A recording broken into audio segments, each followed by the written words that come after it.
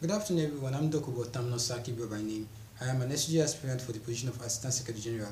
I believe this is a platform for me to educate you and enlighten you on the reason why I decided to fight for this position.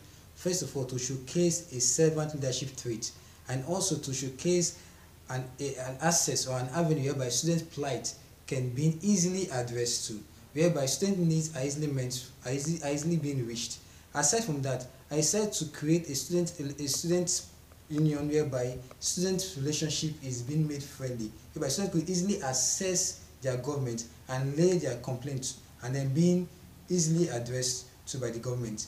This is the reason why I decided to seek your support. Please support me with your vote and let's make this union work again. God bless you.